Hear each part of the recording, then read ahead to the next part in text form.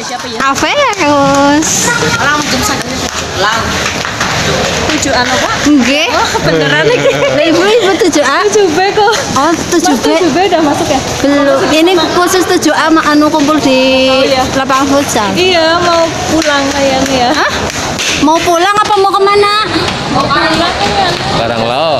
Mau ke Karanglo. Oh, udah selesai? Iya, udah selesai kan.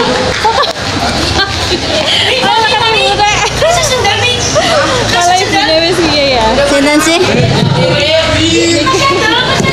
Jangan sampai ada yang ketinggalan. untuk santri kelas 7A harap segera menuju ke